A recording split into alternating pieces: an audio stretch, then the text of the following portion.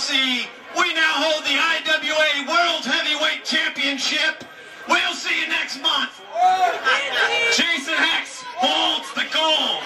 Be a believer or be an example. Fuck you.